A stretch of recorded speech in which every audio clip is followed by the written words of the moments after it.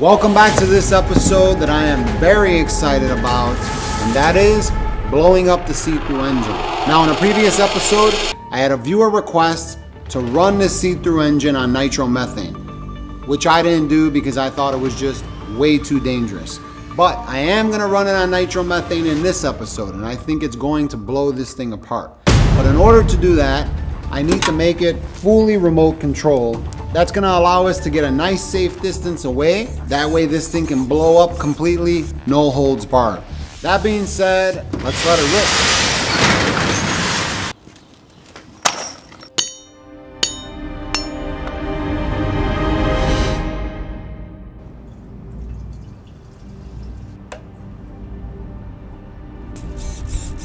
Hear that? We're all set.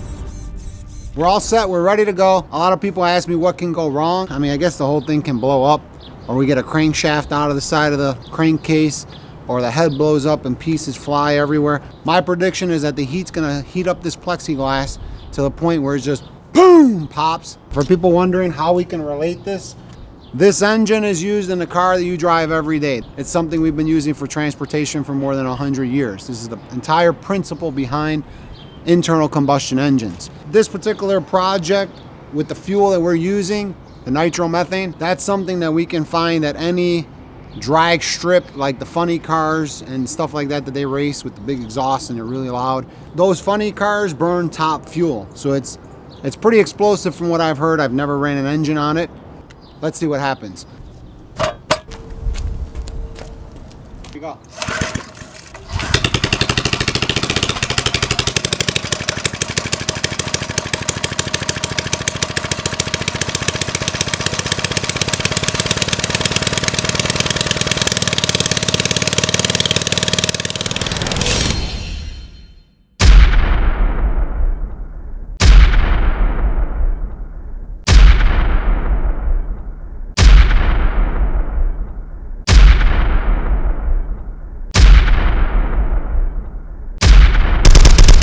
Apparently I have to open up this needle a lot more. So I'm gonna open it up to where it's almost falling out of the carburetor. There we go. Try this again.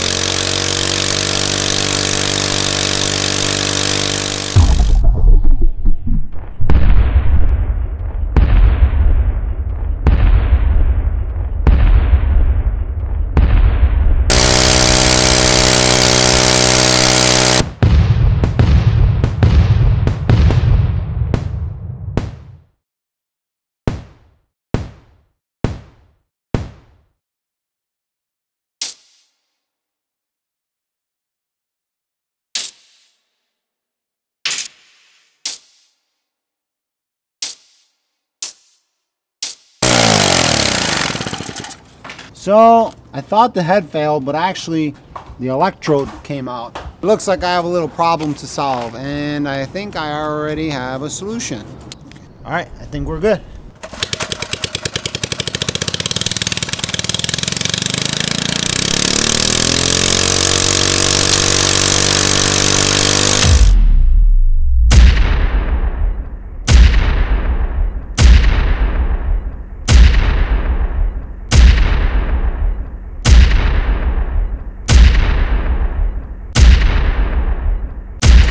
Hey, wait, wait, wait, don't run, don't run. Jesus Christ.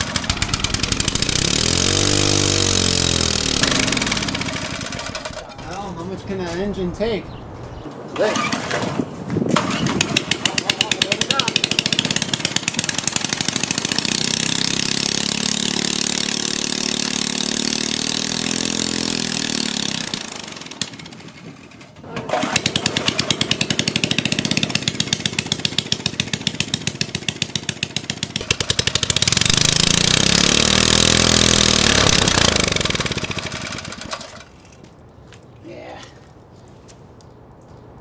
Something's sizzling.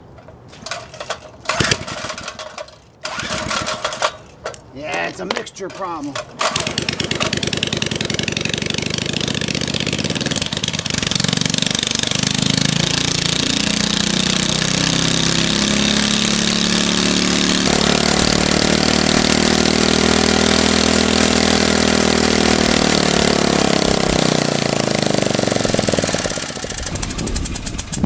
It just ate up the whole head. Look at that. So it looks like it actually ran for about, I would say eight minutes. And uh, got some plastic coming out of the exhaust right there. And uh, the head it's a little bit melted and I think that's how why it shut off started leaking compression so we're gonna modify this a little bit come back and do this again got the engine inside let's take it apart. And uh, yeah that was kind of unexpected. I didn't expect it to blow out of the side like that. At all this it's all melted together. Look at this. You can definitely see where all the heat is concentrated. Take this all off. Take this apart. And yeah, it looks like uh, looks like it definitely melted this thing pretty good. All that really happened was we started leaking compression out of this little hole that got melted between the head and the spacer here and burning up this head pretty good. And it looks like the plastic was part of the fuel in this case because this whole plastic was like getting shot out of the exhaust. This isn't what I wanted to happen. I wanted this thing to blow up completely. So I think this is the weak part right here this uh, spacer. So I think I'm just gonna change this out with a more hardcore spacer. I got the spacer plate completely 100% done and I doubt that this one's gonna melt. So all I'm gonna do now, I'm just gonna throw this all back together.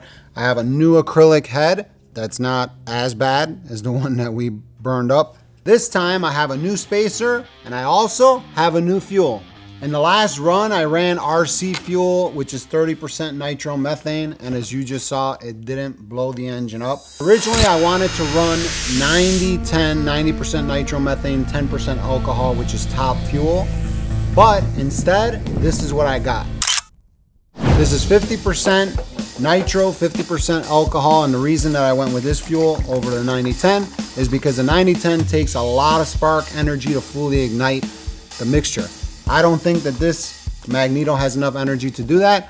And now that I'm going to be running a higher percentage of nitro, I'm actually gonna remove this flywheel to change the timing. I don't know what this runs from the factory, but I'm going to do about 30 degrees advance. It's pretty modest. So I'm thinking where it is now is probably about 13. That's 45.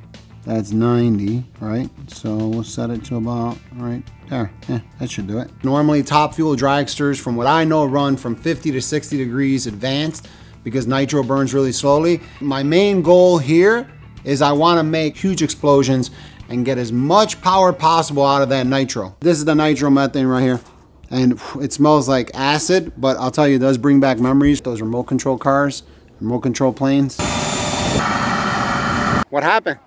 Since I set the timing so advanced, we're gonna run the engine here, make sure we don't need any more timing adjustments, then we're gonna run it and blow it up. Since I'm burning more of a percentage of nitromethane, we need a lot more fuel. So instead of putting a bigger jet, I raise the gas tank to a higher level. That's gonna give me more fuel pressure and increase the amount of fuel, hopefully.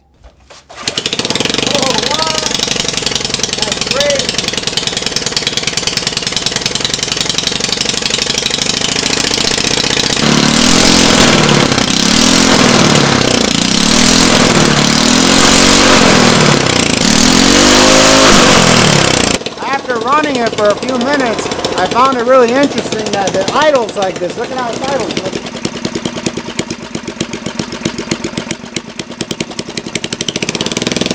I thought that was pretty crazy the way it idles. really, really low and quiet, and then you rev it up, it goes crazy. Watch.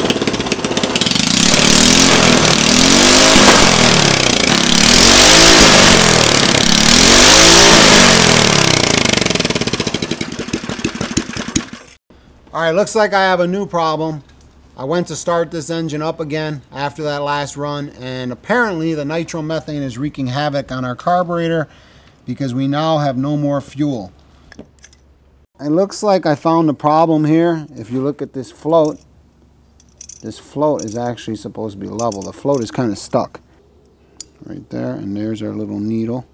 It doesn't seem like it's clogged or anything, and there's definitely not an O-ring in there.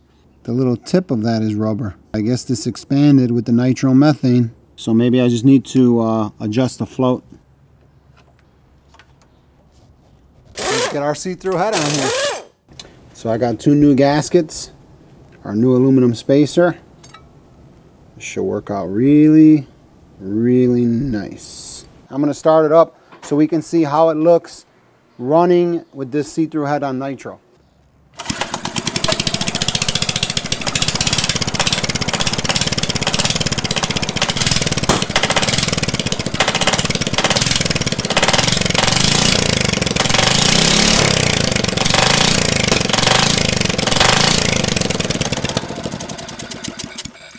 Now that I gave you that little demonstration of Nitro on the bench, I've been searching the internet high and low for some type of clips or animations or something to show me how nitromethane burns differently compared to gasoline and other fuels, and my search came up empty. So before I blow this up, I'm gonna bolt on my last remaining transparent head set up the high speed camera and I'm gonna try to capture some high speed footage to reveal just how differently nitromethane burns compared to other fuels. Then I'm gonna run this thing full throttle and see if I can get it to blow.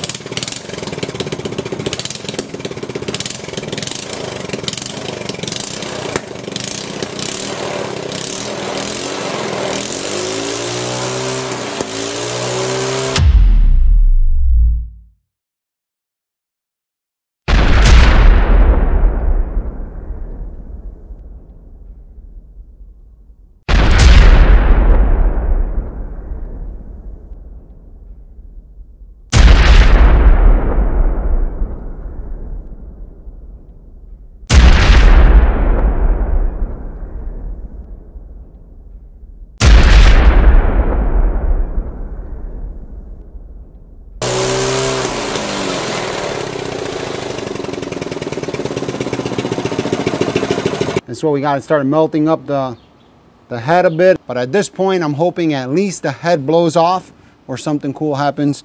Uh, I guess we'll see. Here it goes. Let's do it. Let's blow this thing up. Whoa, yep. That's what we need, a little spark. There it goes.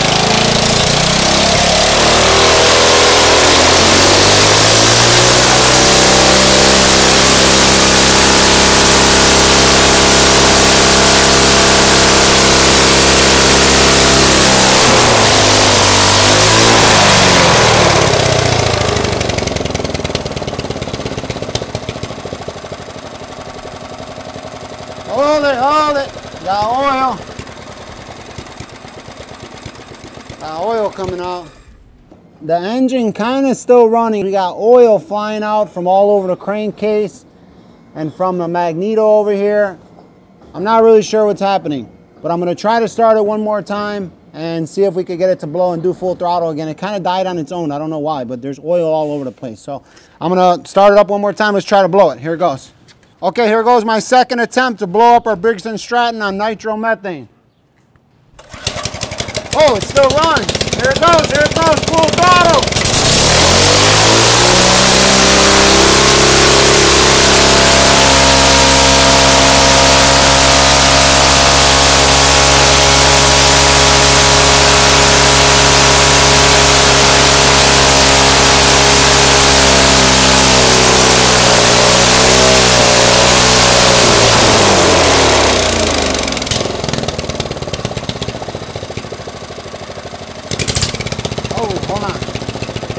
Still running, still running.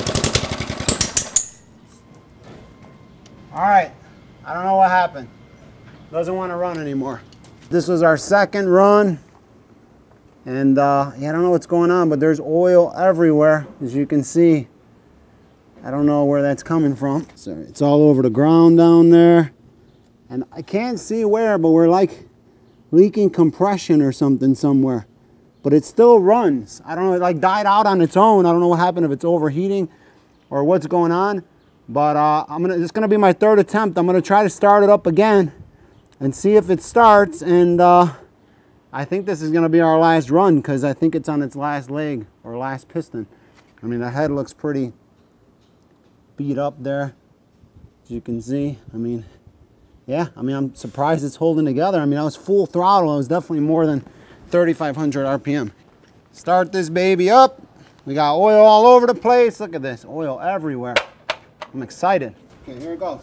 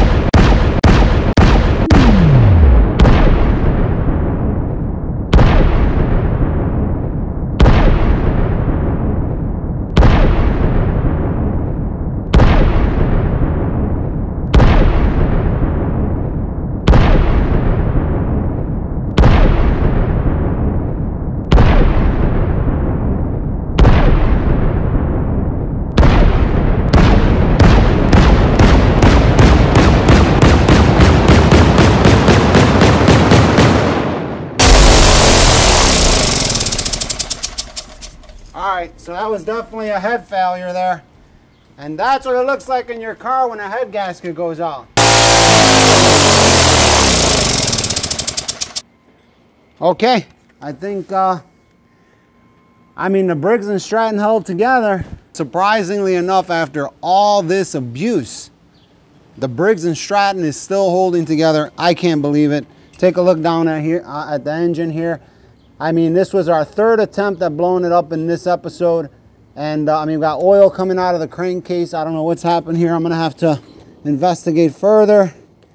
But every subsequent run, more and more oil is coming out of the crankcase somewhere. But ultimately, the mechanics of the engine seem to have held together. Maybe the crankcase is leaking oil somewhere, but the, the mechanics themselves have held together. Our failure at this point was the head gasket. Oh, whoa, damn, that's hot. That's hot. So anyway, it wasn't even our head that failed. It was the head gasket actually blew out. As you saw in the high-speed footage, I wanted to get something cool with this engine. I wanted it to just blow up, but I think that was cool enough for now. The next step at this point for me, move on to the next step in the story. I'm gonna get the turbocharger bolted on here and we're just gonna do it one level up. I'm gonna do the turbo and the nitromethane and 40 degrees timing and full throttle and see if we could actually get this thing to fail. So all I can tell you is this much. If I had a company making lawnmowers, I would definitely buy Briggs & Stratton. So take a look at all the oil one last time and you can see how much weight we needed to hold this thing down. I mean, this is a beast. This is 100 pounds, it's 140 pounds. This is a, about, a, I think about 100 pounds. That being said, that's how much weight we needed to keep this beast chained to the ground. And uh, I'm happy. I think this looks fantastic. Hopefully you enjoyed that episode. This was a long one. We had a lot of attempts to blow this thing up that were unsuccessful. Subscribe if you like this kind of stuff. And uh, that's about it. See you in the next video. Adios.